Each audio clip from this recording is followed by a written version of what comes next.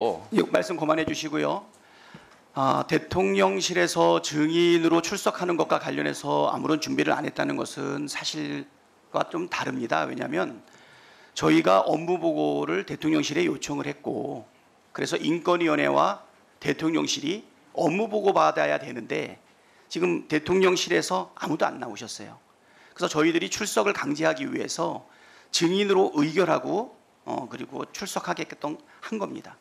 그러니까 이 자리에 나와서 앉아 계시는 게 목적이 아니고 대통령실이 우리 운영이 운영위원들한테 업무를 보고하기 위해서 이 자리에 나와 계신 거예요. 근데 지금 아무런 준비를 안 하고 나오셨다는 것 자체가 제가 볼 때는 국회를 가볍게 여기는 것 아닌가 이런 생각이 좀 들고요. 아까 비서실장님께서 말씀하신 대로 네. 현안 보고와 관련된 그리고 업무 보고와 관련된 자료를 다시 한번 준비해 주시고요. 어, 간사 간의 협의 등을 통해서 추후에 다시 업무 보고를 받도록 하겠습니다. 상임위원님, 우리 위원님들 그렇게 하시면 되겠죠? 자, 자 그러면 다음에 강민국 의원님 의사 진행 발언해 주십시오. 네. 우리 저 다음에 추미애 의원님 하시겠습니다. 우리 저 당에 간사가 서임도 안 된다고 간사 보고 뭐 업무 보고 협의가 되냐는 그건 또 무슨 경우입니까? 그런 경우도 처음 보고요. 그리고 박찬 박찬대 대표님 아까 협치라 말씀하시는데 우리 박찬대 대표님이 참 그런 말씀하시니까 참 어, 안타깝기도 하고요. 지금 그 자리에 앉아 계신 게 바로 협치의 부정 아닙니까? 부끄러운 줄 아셔야죠. 그리고 오늘 회의 정, 오늘 회의도 마찬가지입니다. 오늘 회의가 무슨 국정감사입니까? 국정조사입니까? 여기 청문회도 아닙니다. 운영위원회 말 그대로 우리 저 박성중 간사님 말씀을 따르자면 운영위원회 소관 부처 업무 전반을 받는 현안 질의 업무 보고 시간이라고 하는데 아니 이렇게 전반적인 업무 보고 그리고 범위가 특정되지 않는 현안 질의에 대해서 강제하기 위해서 정인을 채택하고 선서를 강제하는 이런 경우가 어디 있어요? 아, 현안 질의는 뭐 또 그 논리를 내가 보니까 뭐 현안 질의는 안건 시민을 위한 준비 단계라는 정말 기상천외한 논리로 만들었던데 그게 국회법 129조를 무력화시키는 겁니다.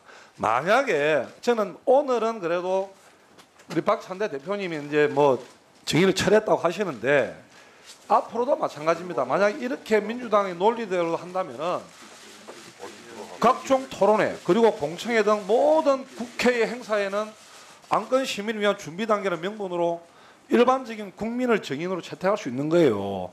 그야말로 증인 채택과 관련해서 국회법 취지에 전면적으로 위배되는 초법적인 위법적인 조치입니다.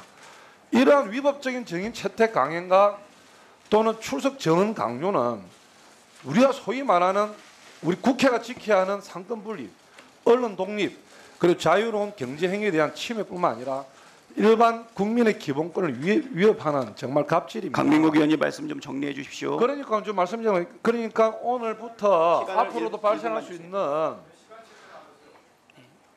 아니 위원장 말씀 좀 정리해 아니, 주십시오. 대표님, 나는 네. 뭐 위원장이랑 발언도 안 하겠지만 박찬대 대표님 지금 아니 의원 발언권을 줘놓고 이렇게 중간에 또 마- 말씀하시는 건 또 뭡니까 그게? 예?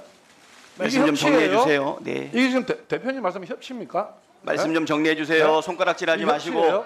예? 그 지금 정리하고 있잖아 지금. 예? 그 이야기 하는데 아직 못 배웠군요. 아니 민주당 아버지는 그렇게 가르쳐요. 예? 자, 강민국 의원 마이크? 꺼주시기 바랍니다. 자, 다음은 자, 다음은 추미애 의원님, 예, 의사진행 발언해 주십시오. 자, 의사진행 발언, 예, 3분 드리겠습니다.